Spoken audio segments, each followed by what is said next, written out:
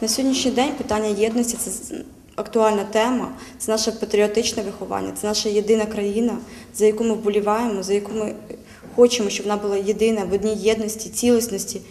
І хочемо передати, користуючись нагодою від цієї молоді Житомирщини, нашим військовим, що ми з вами, ми вас підтримуємо і хочемо якнайскоріше, щоб ви повернулися до наших рідних домівок.